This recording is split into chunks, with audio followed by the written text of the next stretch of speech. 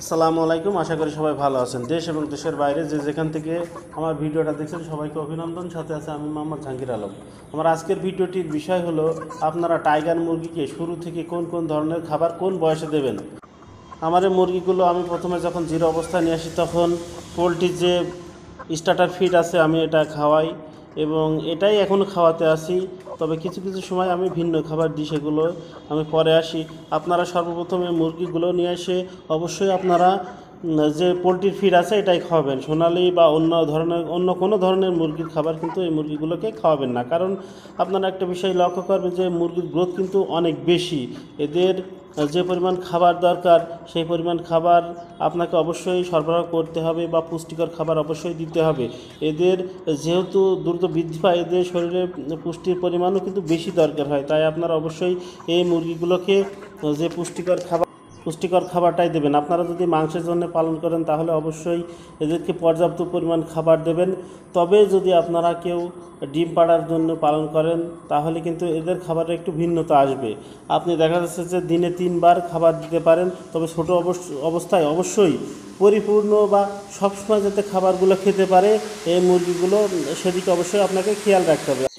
আপনারা জানেন যে মুরগিগুলো যখন ছোট থাকে, তখন কিন্তু এরা কখন খাবার খাবে, কখন খাবে না সেটা তেমন বুঝতে পারে না। দেখা যাচ্ছে ঘুমাচ্ছে তা ঘুমায়ে যাচ্ছে বা হাঁটছে তা হেঁটে যাচ্ছে, এরকম হয়। তাই আপনারা খাবার পরিপূর্ণ যদি দিয়ে রাখেন, তাহলে এদের যখন দরকার বা যখন প্রয়োজন, তখনই কিন্তু এরা এই খাবারগুলো খাবে এবং দ্রুতভাবে বৃদ্ধি পাবে। এদের খাবারের কোনো যদি ঘাটতি না থাকে, তাহলে কিন্তু এরা দ্রুতই বৃদ্ধি পেয়ে যাবে। আর যদি খাবারের কোনো ঘাটতি থাকে, তাহলে কিন্তু- এরা ধীরে ধীরে দুর্বল হয়ে যাবে এবং এদের ভিতরে রোগ ঢুকে যাবে খাবারের মুরগিগুলো মারা যাওয়ার সম্ভাবনা আছে। তাই অবশ্যই আপনারা খাবারের বিষয়টা বিশেষ গুরুত্ব দেবেন। যারা নতুন আছেন, তারা হয়তো বা একটু না জানা থাকতে পারেন। তবে এমনভাবে খাবারটা দিয়ে রাখবেন যেন এরা সবসময় খেতে পারে। এমনভাবে বিশেষ করে বোর্ডিংয়ে তো রাখবেন তারপরও মিনিমাম এক মাস পর্যন্ত এই ধরনের খাবার দিয়ে রাখবেন যে পরিপূর্ণ খাবার যেন এদের মধ্যে থাকে। আর আপনারা যারা দুই মাস বা অধিক সময় পালন করতে চান, ডিমের জন্য পালন করতে চাইলে তাহলে তো দীর্ঘদিন ধরে পালন করতে হয়। সেক্ষেত্রে আপনাদের মুরগিগুলোর বয়স যদি তিরিশ দিন হয়ে যায়, তারপর থেকে আপনারা দিনে তিনবার খাবার দেবেন। তা না হলে কিন্তু আপনি খাবার খাওয়াই পারবেন না। ওইভাবে যদি দিয়ে রাখেন, তাহলে আপনি খাবার খাওয়াই পারবেন না। যে পরিমাণ খরচ হবে, তখন আপনি দেখা যাচ্ছে যে খামার থেকে এমনি বেরিয়ে চলে যেতে চাচ্ছেন। তাই আপনারা যখন তিরিশ দিন পার হয়ে যাবে, তখন থেকে আপনারা দিনে তিনবার খাবারগুলো দেওয়ার চেষ্টা করবেন বা খাবারগুলো দেবেন।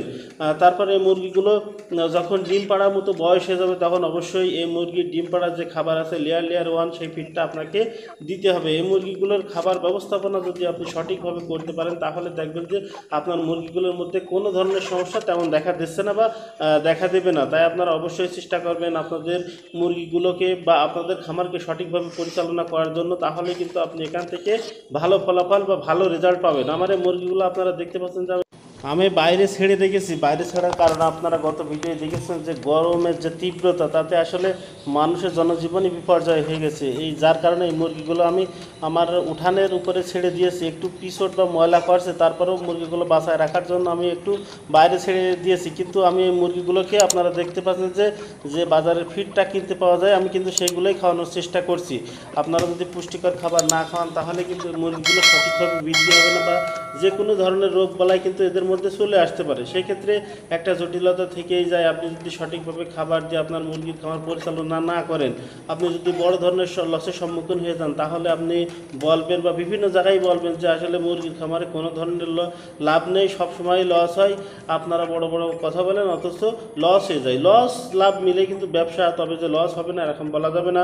আপনি অবশ্যই যদি সঠিকভাবে নিয়ম মেনে আপনার খামার পরিচালনা করেন, অবশ্যই আপনি এখান থেকে লাভবান হবেন।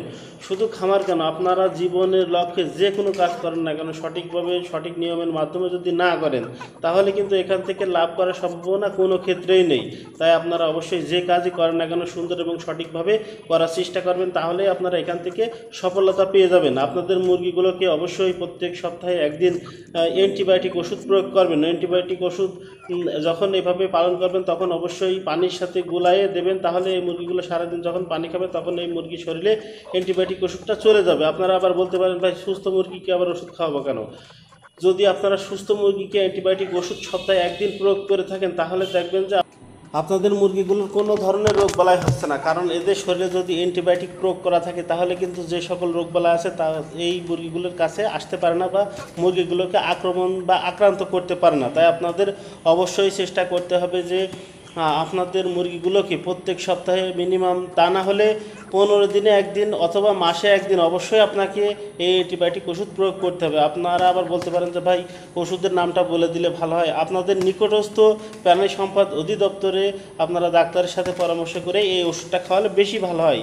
কারণ আমি এটাই বলব যে, আমি একটা ওষুধের নাম বললাম এলাকা ভেদে কিন্তু বিভিন্ন ধরনের কোম্পানি বিভিন্ন রকম ওষুধ নিয়ে চলে আসে। অ্যান্টিবায়োটিক তো অ্যান্টিবায়োটিককে এটা মনে করে আপনারা প্রাণী সম্পদ অধিদপ্তরের ডাক্তারের সাথে পরামর্শ করে খাওয়ালে বেশি ভালো হয়, তা না হলে আপনাদের এলাকাতে যে সকল ডিলারগণ আছে তাদের কাছ থেকে আপনারা অ্যান্টিবায়োটিক ওষুধটা নিয়ে এবং এর মাত্রা কীভাবে কি খাওয়াবেন সেটা আপনারা জেনে আপনাদের মুরগিগুলোকে খাওয়াতে পারেন। তাহলেই দেখবেন যে আপনাদের মুরগিগুলো বারো মাস কিন্তু সুস্থ থাকছে এবং সঠিকভাবে আপনার খামারের পরিধিটা বৃদ্ধি পাচ্ছে আস্তে আস্তে।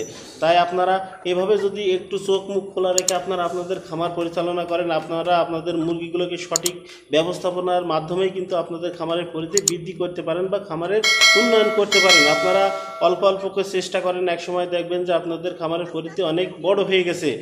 তাই আপনারা এইভাবে আপনাদের মুরগিগুলোকে পালন করুন। আপনারা এখানে যে শুধু টাইগার মুরগি পালন করবেন এরকম না, অনেকে সোনালী মুরগি পালন করেন, অনেকে ফাওমি মুরগি পালন করেন, তিতির মুরগি পালন করেন, হাঁস পালন করেন।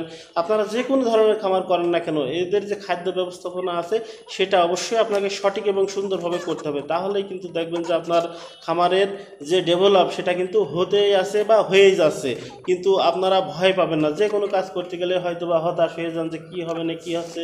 আপনি শুরু করেন যার সমস্যা আছে তার সমাধান আছে। আপনি হয়তো বা নতুন মানুষ শুরু করলেন, আপনার কিছু সমস্যা সম্মুখীন আপনি হয়ে গেলেন। যা সমস্যার সম্মুখীন হলেন, অবশ্যই আপনি যদি চেষ্টা করেন সেসব সমস্যার সমাধান করার সুযোগ অবশ্য অবশ্যই আপনার আছে। আপনি হয়তো বা নিজে জানেন না, আপনার পাশে দেখবেন যে অনেক পুরনো খামারি আছে বা অভিজ্ঞ খামারি আছে, আপনি তাদের সাথে আলোচনা করতে পারেন। প্রাণী সম্পদ অধিদপ্তর তো আছেই। তাহলে এখন বিভিন্ন সময় অনলাইনে যে সকল ইউটিউবের ভিডিও আছে, সেগুলো দেখতে পারেন। যে কোনো ধরনের সমস্যা হলে তার সমাধান কিন্তু সেখানে পেয়ে যাবেন। তা, তাছাড়া অনেক অনলাইনেও কিন্তু ডাক্তারের পরামর্শ পাওয়া যায়। আপনারা যদি একটু চেষ্টা করেন, অবশ্যই সেখান থেকেও এই সহায়তাগুলো পেয়ে থাকতে পারেন। আপনারা যে কোনো ধরনের ভয় কাটায়ে বা যে কোনো ধরনের চিন্তা বাদ দিয়ে আপনারা খামারে চলে আসেন এবং খামারটা শুরু করেন, দেখবেন যে আপনার কাছেও একসময় সহজ মনে হচ্ছে। হয়তো বা প্রথমের দিকে সহজ মনে হয় না। আবার অনেকে শুরু করতেই ভয় পায় যে কি হবে না কি হচ্ছে। এই ধরনের চিন্তাভাবনা থেকে আপনারা যতদিন না বেরিয়ে আসতে পারবেন, ততদিন কিন্তু জীবনে কোনো কিছুই করতে পারবেন না। তাই আমরা আসেন এই সামান্য জড়তা থেকে বেরিয়ে এসে নিজে কোনো কিছু করার উদ্দেশ্যে, জীবনে ডেভেলপ করার উদ্দেশ্যে, উন্নতি করার উদ্দেশ্যে কোনো কিছু করি বা খামার করি। আপনারা শুধু মুরগির খামারে না, আপনারা বিভিন্ন ধরনের গবাদি পশু পাখির খামারও করতে পারেন। সেখান থেকেও আপনারা যদি নিয়মের মধ্যে কাজ করেন, তাহলে অবশ্যই আপনারা ডেভেলপ করতে পারবেন। আমার ভিডিওটি যদি আপনাদের ভালো লাগে, তাহলে অবশ্যই আমার ভিডিওটাতে একটা লাইক করবেন, ভিডিওটা শেয়ার করবেন এবং আপনাদের যদি কোনো মতামত থাকে আমাকে কমেন্ট করে কমেন্টের মাধ্যমে জানাবেন। আমার চ্যানেলটি অবশ্যই সাবস্ক্রাইব করবেন। ইতিপূর্বে যারা সাবস্ক্রাইব করেছেন তাদেরকে অসংখ্য ধন্যবাদ। ধন্যবাদ সবাইকে।